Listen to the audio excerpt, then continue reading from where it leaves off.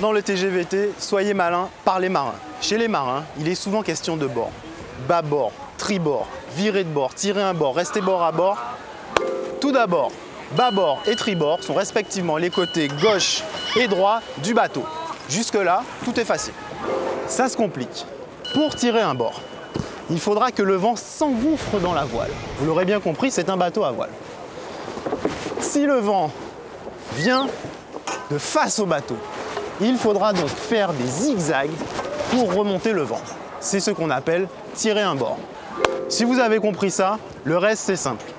Virer de bord, c'est juste quand le bateau passe de zig à zag.